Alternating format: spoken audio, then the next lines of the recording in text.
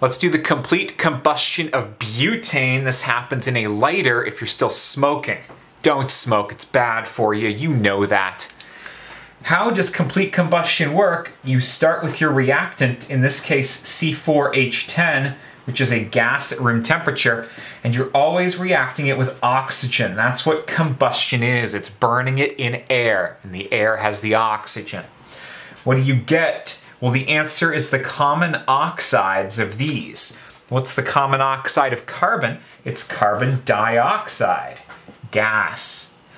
What's the common oxide of hydrogen? Not a trick question, it's water, H2O. And when you burn something, it's gonna make gas phase uh, water. All right, this is it. Complete combustion reacts with oxygen to make carbon dioxide and water. I will balance this for you because I'm a good guy. Now, when I'm doing complete combustion balancing, I like to make sure that I'm gonna have an even number of oxygens here. 10 hydrogens, I would need a five in front. In fact, I'll just do that for you to show you what I mean. Five hydrogens. Four carbons, I would need four carbons here. That's eight, and five is 13 oxygens. But how many pairs do I need to get 13? The official answer is 13 divided by 2, or 6.5. Some teachers are not going to want you to use a fraction.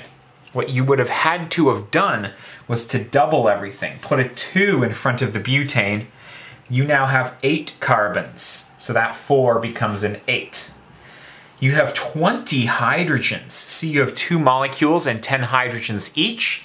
That means that this number becomes 10. Oh, look, everything's just double from what it was. Now I have 16 oxygens here and 10, which makes 26. How many pairs is that? The answer is 13. You may want to use these coefficients if your teacher doesn't like fractions or decimals, but otherwise it's the same reaction. Butane and oxygen makes carbon dioxide and water. All the complete combustions are the same. Best of luck to you.